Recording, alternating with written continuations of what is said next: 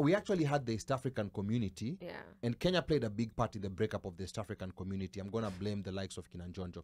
We played a very big part in the breakup of the East African community because uh, for whatever reason during Kenyatta's time, and that's the time when Kenyatta alikuwa amekaribia kunyuri, alikuwa ameanza kuzeeka zeeka nini hivi kina Njonjo, kina Njonjo, you know, like they overwhelmed him. Uh, and they broke up in, in 1977 and then we reunited back in 1999. Now, before we broke up, the European Union, which was still, you know, like very fresh and very new, Very were coming to East Africa for benchmarking. That's how advanced, you know, the union the union was. East African Airways, uh, the rail was the same system. Uh, we had, uh, you know, like uh, water transportation. Right now, if you go to Tanzania, their water transportation system is more sophisticated, more advanced than Kenya's. Because what happened when the when the the union, union broke, broke up, up. uh, Kenyans uh, wali because we had the airport, we confiscated all the planes to the Kabakinazo, planes, yeah. and then the water assets.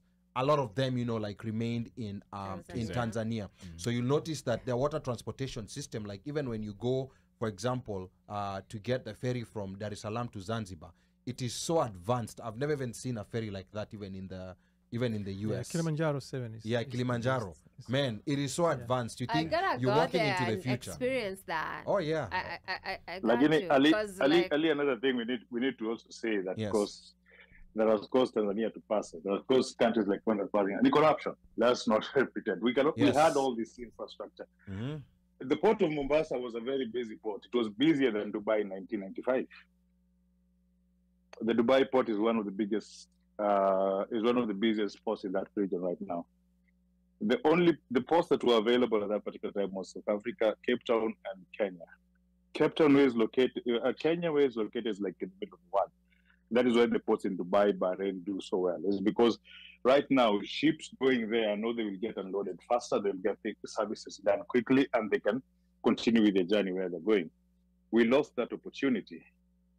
While Tanzania were building their port, we were supposed to be the to be the Lamu port.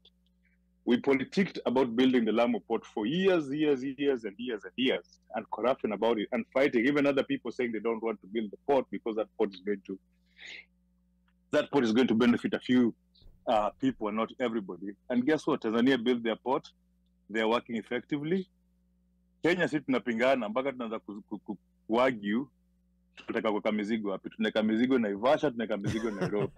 Tumefanya that's vingi- just so like, you Wow. we, we, we, we, we then another one comes. We have an inland port that is working. Sgr inapata pesa kubeba mizigo. Ina reduce congestion kwa barabara. Uh, south sudan had bought the had, had rented nearly a quarter of the naivasha inland port just to clear for them. That was good business. Mjinga mwingine akakuja akasema turudishe kila kitu mombasa. Kutoka mombasa mpaka south sudan is just another long way juu lazima urudi saidi ya nairobi alafu ndo anze kupanda. Hakuna njia kutoka mombasa kwenda straight mpaka juu. So hao pia kakasirika where will they go to another country? So it's bad governance is what's making us lose to other countries.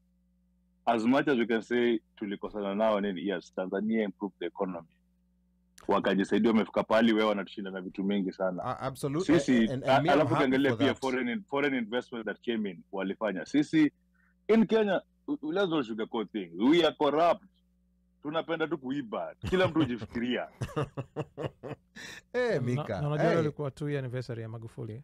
Oh wow, leo ni two year anniversary ya Magufuli's death. Yep. Wow, you know time moves It's already so, so two fast. years. yes I almost want to ask you questions about that, but we're on a different topic right now. okay let's No. keep on different So I, I, I will come to you later about that. But now you know the, So the is, thing is so Tanzania. is, mam, is is Mama on Magufuli's term or her term?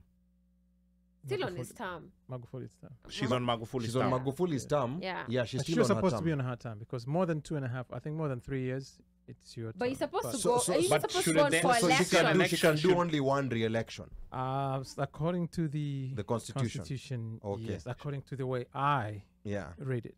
So have you guys gone to election to vote for Not her? yet until No. 2025. For So how? she's still on his term. Yeah. Yeah, she's still on Magufuli's But term But does until his 25. term count as hers because she came into his term? Two and a half years. But If- she was if- if- if- he if was you- in for like what a year. In his second no Yes, no so no magufuli ma, when magufuli passed even- away he hakuwa amekaa ilikuwa ni miezi It, Yes. it it had was just a to a few months yeah So according to the constitution, as far as I know, she's supposed to be. Uh, this is her first term. yeah this is her more than first three term years.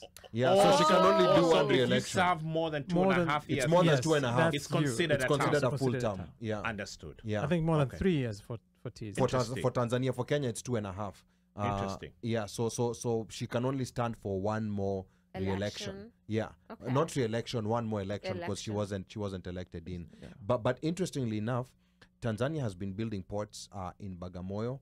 Uh, and we, So with, where is we- that? Bagamoyo is in Tanzania. Where is that in Tanzania? It's on the coast of Tanzania. Sasa Okay. sijui nikuelezea. Coastal no, no. region. I, Yeah. I needed you to say that. Yeah. Yeah, because I mean, Lamu, no, not Lamu, Naivasha, iko kwa coast mahali. I know. yeah, Okay, that's you- what I meant. Yes, you have a point. Bagamoyo Okay. is an actual port. Ta- Tanzania hakuna hiyo mchezo. Okay. Hakuna hiyo mchezo ya sijui kupeleka vitu so that Inland. you get votes. It's inland Uh, port. Yeah, so so there are ports they're building, and uh, there are interesting things that the late Magufuli uh, checked the Chinese on. You know, with those contracts that they had, where they say if they build a port, you cannot build a port within a radius of I don't know 600 miles for I don't know the next 30 years. And Magufuli said no to that. So a lot of these ports are being funded by their own money. Uh, and, and and while hapa Kenya tunakazana ati we speak better English, uh, in Tanzania they're building